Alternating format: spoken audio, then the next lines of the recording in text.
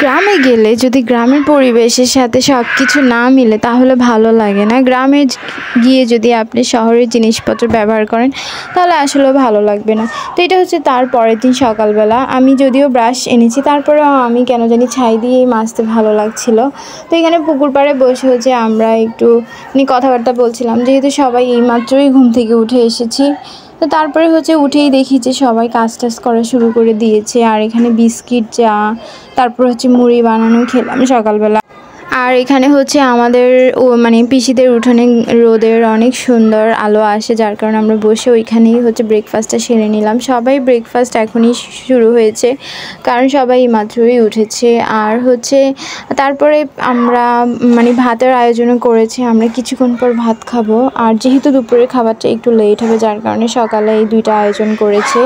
তো এখন হচ্ছে প্রাচ্যকের সোয়েটার টুয়েটারগুলো হচ্ছে আমি এখন খুলে দেবো, যেহেতু রোদ উঠে গিয়েছে। আর আমরা এখন যে যার যার যার মতো হচ্ছে হাত মুখ মানে যারা স্নান করবে বা যারা হাত মুখ ধুবে, সবাই ফ্রেশ হয়ে যায় যার যার মতো মানে ভালো কাপড় চোপড় পরে নেবে।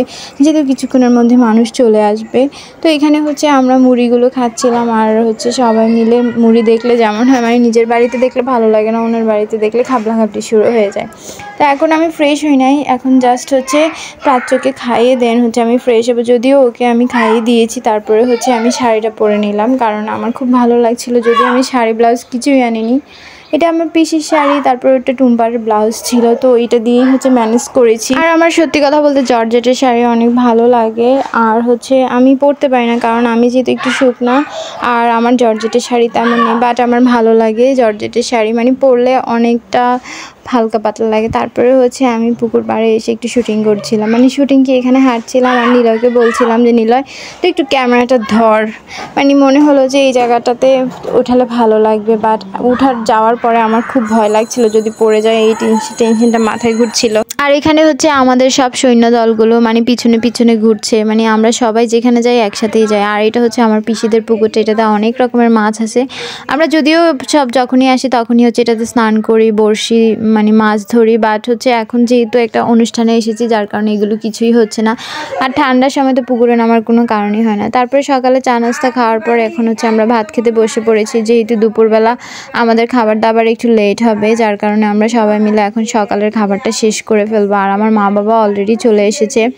আর শীতকালে আসলে গরম গরম ভাতটা ভালোই লাগে। আর তার সাথে যদি হালকা ভাজি আর হচ্ছে একটু ডাল থাকে, সাথে আরেকটা কাঁচা মরিচ তাহলে তো কথাই না। আর এখানে আমরা সব ভাই, বোনরা একসাথে বসেছি। আর শাড়িটা পরেছি, আমাকে খুব কিউট লাগতেছে। অনেকদিন পর জর্জেটের শাড়ি পরেছি, ভালোই লাগেছে। আর আমার মনে হয় আমি আগে থেকে কিছুটা শুকিয়ে গিয়েছি, ব্যাপার না।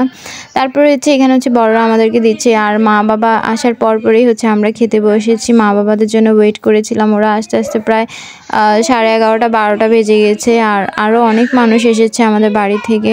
তারপরে হচ্ছে খাবার দাবার শেষ করে আমরা হচ্ছে কোনো কিছুই না, আমরা জাস্ট ঘুরবো, ফিরবো, এই হচ্ছে আমাদের কাজ। আর এখানে হচ্ছে বড়রা বসে কথাবার্তা বলছে।